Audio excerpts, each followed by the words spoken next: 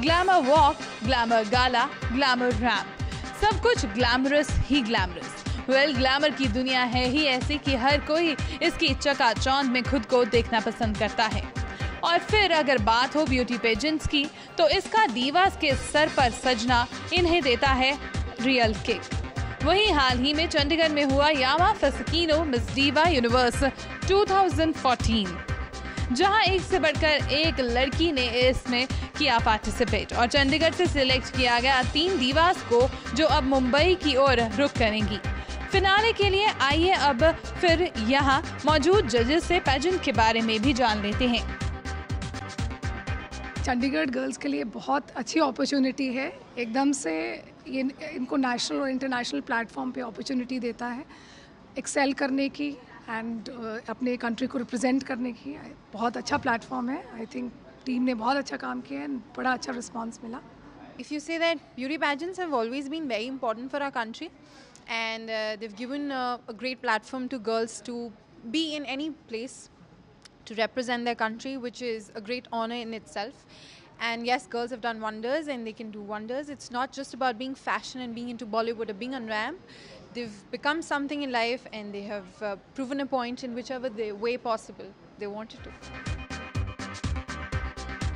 इस पेजेंट के फिनाले के बाद ये किस तरह से फाइनलिस्ट को एसोसिएट करेंगे आइए ये भी पता करते हैं मुंबई के अंदर अभी ये सब ऑडिशन के लिए जाएँगे. They'll be the final auditions and final auditions के बाद they'll be twenty finalist will be selected और इस बार मिस दीवा का uh, एक टेलीविज़न uh, के ऊपर प्ले आउट होगा uh, पूरा पेशेंट का.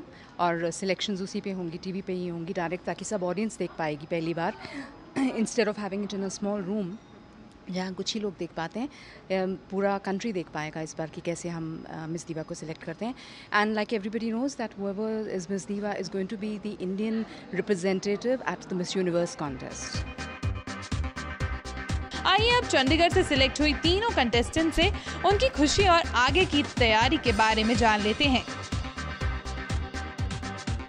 Well, it's thrilling. It's all amazing. It's like a dream come true. I've really worked hard on it. I've given all my days and all my nights for this, and I'm really proud in myself. Even today, we had uh, there, there were tough competition, very tough, and I I seriously wasn't expecting I would I was gonna win. So for the next, I don't know, but I'll try my best. I'll give in my best. I'll join gym.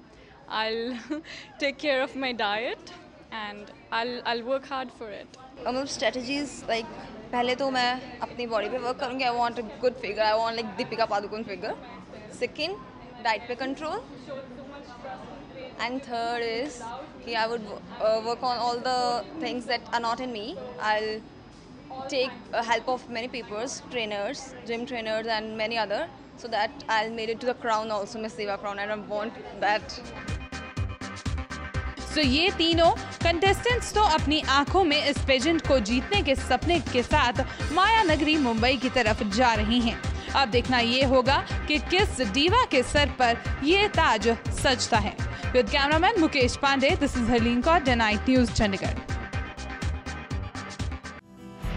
ਖਬਰਾਂ ਦੀ ਦੁਨੀਆ ਵਿੱਚ ਆਓ ਸਾਡੇ ਨਾਲ ਕਦੇ ਵੀ ਕਿਤੇ ਵੀ ਜੁੜੋ